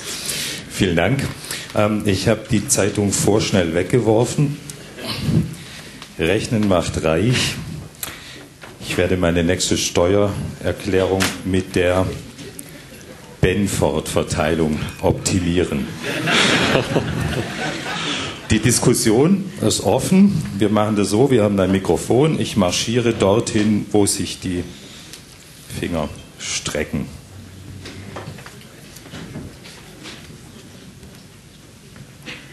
Nee, oder?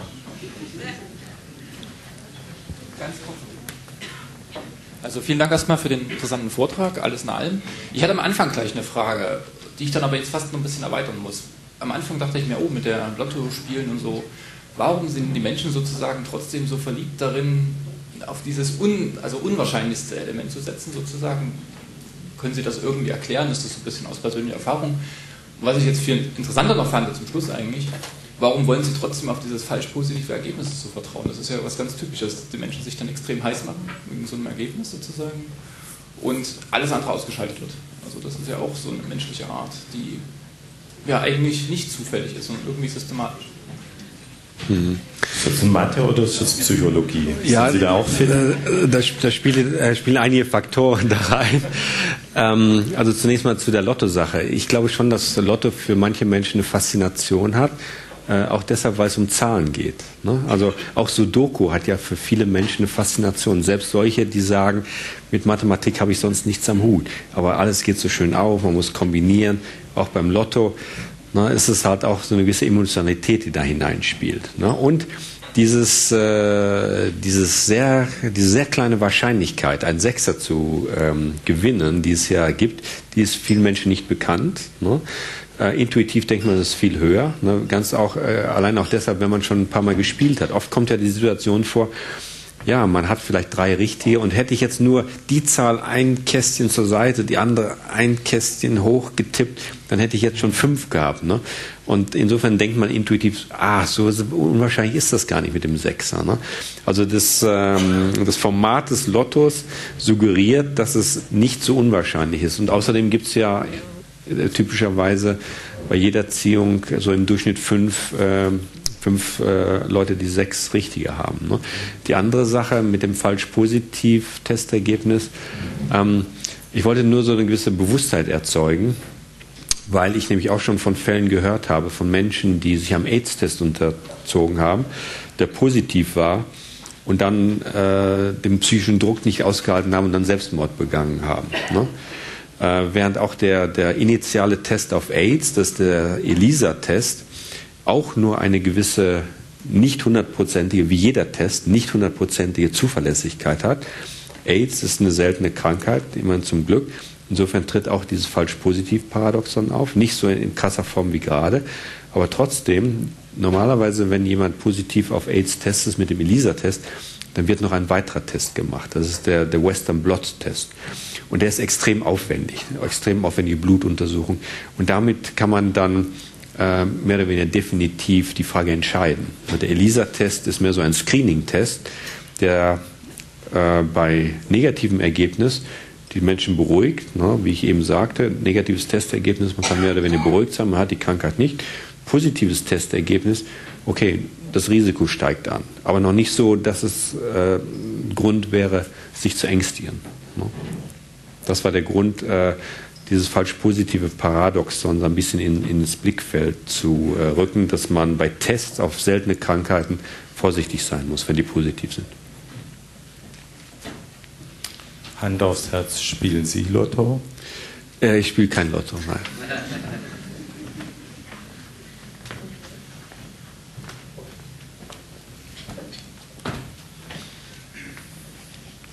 Äh, ist es denn bei medizinischen Untersuchungen meist so, dass das dann auch ähm, symmetrisch verteilt ist, wenn ich jetzt äh, eigentlich den Krankheitserreger hätte, dass dann zum Beispiel 99 zu 1 ist, dass der Test funktioniert und andersrum aber 99 zu 1, äh, 1 zu 99 fehlschlägt, wenn ich nichts habe oder ist das auch unsymmetrisch? Hm. Also typischerweise ist es unsymmetrisch. Ne? Also ähm, wenn ich äh, Krebs habe, dann ist der Test, äh, sagen wir mal, positiv mit einer bestimmten Wahrscheinlichkeit, sagen wir mal 99 Prozent. Und wenn ich äh, keinen Krebs habe, ist der Test negativ mit einer bestimmten anderen Wahrscheinlichkeit. Aber um die Sache zu vereinfachen, es ging mir nur darum, das Prinzip klar zu machen, habe ich die Zuverlässigkeit des Tests ähm, als eine gleichbleibende Zahl für beide Fälle genannt. Und so stark variieren die typischerweise nicht. Aber Sie haben schon recht, es ist nicht ganz symmetrisch. Aber es hätte wenig Erkenntnisgewinn gebracht, wenn ich das aufgedröselt hätte in, sagen wir mal, Zuverlässigkeit bei Vorliegen von Krebs, Zuverlässigkeit bei Nicht-Vorliegen von Krebs. Aber prinzipiell haben Sie recht. Ja, ich habe auch noch mal eine Frage dann zu diesem äh, Geburtstagsspiel. Das kannte ja. ich schon, deswegen ist es ein bisschen natürlich. Ähm, mit dem Klopfen, das stimmt dann auch nicht so ganz vielleicht. Also, wahrscheinlich kannten das auch schon viele der Zuhörer, die da dafür interessiert sind. Äh, wie sieht denn das in der Realität dann aus? Es ist ja keine Gleichverteilung von diesen Geburtstagen übers Jahr. Also ich hatte mal, als meine Tochter vor 20 Jahren geboren wurde, da sagte mir im Geburtsvorbereitungskurs eine Hebamme oder äh, vergleichlichen, also vergleichbarem Berufsfeld, also im, März, nee, im Mai und im November wird sie sicherlich kein Baby bekommen. Und zwar deswegen, weil da die Krankenhäuser wohl voll sind. Und sie würde ihre Geburt, wenn sie steuern könnte, so legen, dass es in die ruhigeren Zeiten käme. Mhm. Also in, insofern gibt's eine, äh, ist es eine ungleiche Verteilung. Und von daher wird die Wahrscheinlichkeit wahrscheinlich bei niedrigeren Klassenstärken oder Personenzahlen schon bei 50 Prozent liegen meiner Meinung nach. Also ja, also das ist ein sehr guter Punkt. Gibt, gibt, es dann da auch Berechnungen, also über die Statistik von Lebensversicherungen oder es gibt ja die Daten dann, wie die Geburtstage verteilt sind. Ja, also es gibt tatsächlich Daten darüber und es ist wirklich so, dass die Geburtstage äh, der Menschen nicht gleichmäßig verteilt über äh, alle Tage des Jahres sind. Es gibt ja Fluktuationen, die sind jetzt nicht so gravierend, aber sie sind da. Ne? Ähm, und wenn Fluktuationen vorliegen, dann kann man sogar mathematisch beweisen, dass man im Mittel sogar noch weniger äh, Geburtstage sammeln muss, bis erwarteterweise eine Kollision auftritt. Also man kann das sich vorstellen, bei sehr stark unterschiedlicher Verteilung ne, wird es plausibel, dann äh, ist es äh, sehr krass erniedrigt, diese Zahl, ne, weil dann sehr viel aus dieser Hochwahrscheinlichkeitsbereich kommen. Aber selbst bei den leicht variierenden ähm, Geburtstagshäufigkeiten über das Jahr kann man also zeigen, dass äh, man dann sogar weniger als 23 Personen im Mittel braucht, ähm, um diese 50-50 Wahrscheinlichkeit zu erzeugen. Aber wie viel wissen Sie nicht? Ob es 21 sind oder 20? Ja, es kommt darauf an, ähm, wie, stark die, äh, wie stark die Variation ist. Und die ist von Land zu Land verschieden. Ne? Länder, die kalte Winter haben, ne, haben Sie wissen, was ich meine. Ne?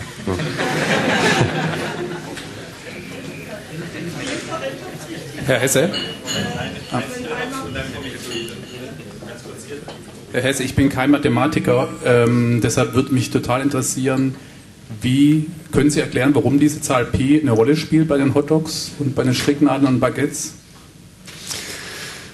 Ja, also man muss da natürlich schon ein bisschen tiefer in die Trigonometrie gehen. Ne? Man muss äh, eine, Nadel willkürlich werfen, da muss man überlegen, was bedeutet es eigentlich, willkürliches Werfen einer Nadel. Das bedeutet, ähm, dass der Nadelmittelpunkt irgendwie gleichmäßig zwischen zwei Linien auftritt, dass der Winkel zwischen horizontaler und äh, der, der Nadel äh, gleichmäßig über dem Vollwinkel verteilt ist und da kommt dann der Kreis rein über diese Trigonometrie. Trigonometrie hat leicht was mit Pi zu tun. Ne? Jetzt müsste ich äh, noch mehr in die Details gehen und würde dann wahrscheinlich einen Großteil meines Publikums verlieren. Aber wir können ja, wenn Sie wollen, nachher noch ein bisschen drüber sprechen. Aber jetzt so Coram Publico, denke ich, wird es zu technisch werden. Ne? Aber jedenfalls hat das äh, trigonometrische Gründe ähm, und mehr äh, sollte ich vielleicht an dieser Stelle noch nicht sagen. Aber können wir gerne machen. Ja. Ich hatte äh, wegen der, dieser Geburtstagssache noch eine Frage. Ja. Wenn also einer äh, dabei ist, der am 29.02. Geburtstag hat, wie verändert sich dann das Ganze? Okay, also ich hatte jetzt äh, Einfachheit halber mal 365 Tage angenommen und eine Gleichverteilung darüber. Das sind alles Annäherungen. Aber ein zusätzlicher Tag äh, verändert die Sache so wenig, dass es nicht nennenswert ist, ne? nicht, äh, nicht der Rede wert ist. Ne? Man, muss, man muss dann äh, natürlich berücksichtigen, dass ein Geburtstag an diesem Tag eine viel geringere Wahrscheinlichkeit hat, viermal geringere Wahrscheinlichkeit als an den anderen Tagen. Das ist dann mathematisch komplizierter. Ne? Dann hätte ich Fall, Fälle unterscheiden müssen. 365 Geburtstage haben die Wahrscheinlichkeit. Ein Geburtstag, 29. Februar, hat eine um den Faktor ein Viertel reduzierte Wahrscheinlichkeit. Dann wäre alles so geworden, dass sie es nicht mehr hätten hören wollen. Ne? Und da die Vernachlässigung des 29. Februar ohnehin jetzt, sagen wir mal, für diese Zwecke extrem wenig verändert hätte, habe ich mir die Freiheit genommen, ihn einfach zu vergessen. Aber natürlich, möglicherweise gibt es hier jemanden, der am 29. Februar Geburtstag hat. Das scheint nicht der Fall zu sein, weil es gibt ja, ja, ja 1004 mal 365 dann Tage ne, in diesen vier Jahren. Also äh, es hätte auch hier nichts verändert an unserer Simulation, wie Sie sehen. Aber natürlich, alle, die am 29. Februar Geburtstag haben, sollte man auch nicht vergessen. Danke. Ja, hätte auch noch mal eine Frage zu dem ähm, Geburtstagsbeispiel. Und zwar, also was Sie gesagt haben, dass äh, wenn es lange Winter gibt, dass sich dann im Herbst sträuft, das, das leuchtet mir ein, ein so zu sagen. Aber Sie haben äh, davon abgeraten, den 19. als äh, Lottotipp zu nehmen. Wie, wie, können Sie das begründen, dass gerade am 19. 1900. wohl. Ah, ja. okay, okay. Viele Menschen tippen Geburtsdaten oder die Daten ihrer Kinder oder Hochzeitsdaten oder Datum oder andere Daten und da gibt es eben immer noch sehr viele, die 1900 irgendwas sind. Ne? Vielleicht in, in, in, in 40 Jahren können, können sie die 19 dann wieder tippen. Ne? Und die, die zweite Frage wäre, wenn man bei 23 Personen eine 50-prozentige Wahrscheinlichkeit hat, äh, dann würden wir jetzt ja intuitiv vielleicht vermuten, dass man bei 46 ähm, Personen eine hundertprozentige oder nahe hundertprozentige mhm. Wahrscheinlichkeit hat. Das wäre der Fall, wenn, man, wenn sich äh, Wahrscheinlichkeiten proportional verhalten würden. Das ist aber nicht der Fall. Ne? Ich hatte ja diese Kurve gezeigt, wenn Sie sich vielleicht erinnern, die ging so, die hat sich so gebogen. Ne? Die, diese Kurve P von N. Ne?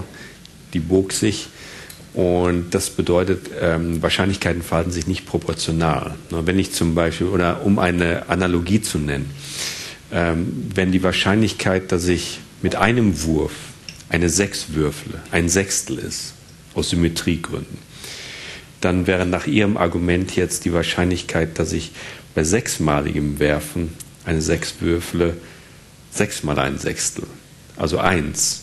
Ne? Und bei siebenmal liegem Werfen wäre ich schon über die Eins hinaus, was nicht geht. Eins ist sozusagen der, 0 und 1 ist der Bereich, in dem sich Wahrscheinlichkeiten bewegen, zwischen 0% oder 100%, anders skaliert. Äh, und das liegt einfach daran, dass sich Wahrscheinlichkeiten nicht additiv verhalten oder proportional auch nicht, ne, sondern man muss äh, nicht linear mit denen rechnen. Das ist Teil der Komplikation. Ich hätte mal eine ganz andere Frage. Wird ja viel mit Modellzahlen gearbeitet. Stichwort zum Beispiel ähm, Erderwärmung. Bitte? Zum Beispiel Erderwärmung. Die Erde wird sich bis zum Jahr 2000x um so und so viel Prozent erhöhen. Wo sehen Sie da, oder wie, wie aussagefähig halten Sie solche Modelle und wo sehen Sie da gewisse Fallstricke? Ja, mit den Modellen ist natürlich immer so eine Sache. Modelle versuchen ja die Wirklichkeit nachzubilden. Und die Wirklichkeit per se ist in fast allen äh, Bereichen sehr komplex. Aber diese Art von Komplexität kann man typischerweise mit Modellen, sonst auch mathematischen Modellen, nicht eins zu eins nachbilden. Sondern man muss Vereinfachungen vornehmen. Und besonders bei meteorologischen Modellen spielen so viele Einflussfaktoren hinein. Deshalb ist zum Beispiel auch Wetterprognose so extrem kompliziert. Es geht da um großräumige äh, Luftbewegungen, dann gibt es äh, kleine Turbulenzen lokaler Art. Und äh, die Chaostheorie spielt da hinein, wie sich Turbulenzen weiterentwickeln, ausbauen und so weiter.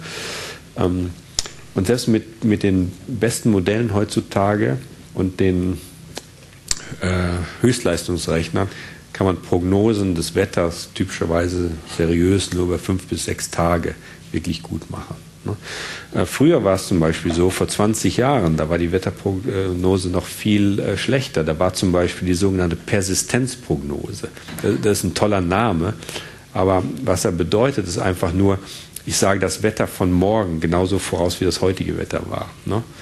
Also wenn ich jetzt sozusagen äh, das morgige Wetter von Temperaturen, Niederschlag und so einfach so ohne irgendwelche Mühe mehr zu machen. Ich gucke mir einfach nur an, wie war es heute und sage, morgen wird es genauso.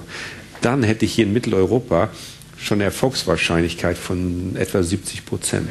Ne? Und so vor 20 Jahren waren die besten Meteorologen, die haben mit sehr damals komplizierten Modellen, haben sie es vielleicht auf 80 Prozent geschafft. Ne? Heute ist die Wetterprognose schon wieder ein Tick genauer geworden. Ne? Also, aber damals konnte man mit einer Persistenzprognose ne, als Unmeteorologe noch ganz gut dastehen. Ne? Aber heute gab es auch in der Meteorologie größere Fortschritte. Ich hatte von dem Benford-Gesetz auch schon mal gehört, aber könnten Sie andeuten, ob man das begründen, begründen kann? Das ist ja wahrscheinlich nicht eine rein empirische Sache und ich habe keine Ahnung, woher sowas kommt. Die Benford-Verteilung? Ja, man, man kann es vielleicht durch folgende Situation ähm, mal an den natürlichen Zahlen äh, klar machen. Wenn man zum Beispiel einfach die natürlichen Zahlen durchzählt und man ist, sagen wir mal, bei der Zahl 9999 angekommen. Wenn man es kurz reflektiert, dann sieht man, dass Zahlen mit allen Anfangsziffern 1 bis 9 relativ gleichmäßig dann erschienen sind. Ne? Aber jetzt nach dieser Zahl kommt die Zahl 10.000. Und dann kommt ein Run von ungefähr 10.000 Zahlen, die alle mit der 1 beginnen. Nämlich von der Zahl 10.000 bis zur Zahl 20.000. Nur 10.000 Zahlen, die alle mit der 1 beginnen.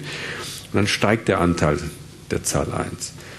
Und dann kommt, ja, kommen die Zahlen, die mit der 2 beginnen, dann senkt er sich wieder, aber nicht auf das Ursprungsniveau. Und dann kommt irgendwann, ist man bei 100.000 und dann gibt es wieder 100.000 Zahlen, die mit einer 1 beginnen sogar dann steigt er wieder. Und gemittelt über den ganzen Zahlenbereich pendelt sich das für die 1 dann wirklich bei diesen 30 Prozent ein. Und das gilt generell eben für Datensätze, die sich über sehr viele Größenordnungen ähm, ausbreiten, die über sehr viele Größenordnungen streuen. Das ist mehr oder weniger ein logarithmisches Argument. Ja. Ja. Also ähm, also, ja. Also mir ist äh, zu Beginn dieses Abends ist mir ein Witz eingefallen. Ja.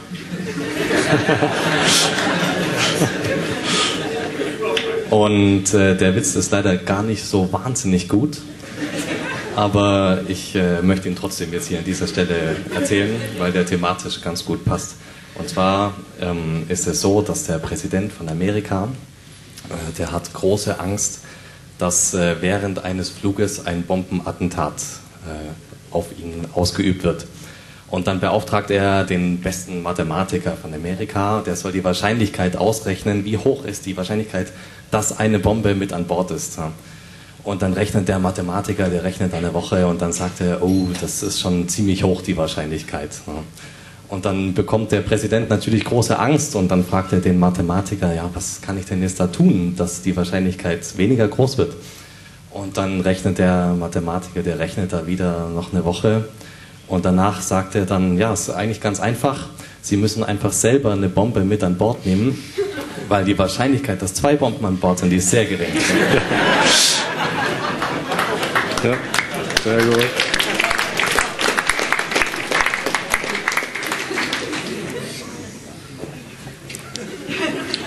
Das könnte jetzt schon beinahe das Schlusswort sein, aber eines möchte ich noch gerne loswerden. Wir sind beide irgendwie fanatische Sonntagmorgen-Zeitung-Leser. Nur zähle ich nicht Zahlen, sondern gucke Schlagzeilen an. Und jetzt möchte ich Ihnen einfach eine andere noch ähm, zumuten. Und die heißt vom 12. Oktober. Unsere Kinder werden mit Mathe zugekleistert sagt der Vorsitzende des, des Landeselternbeirats.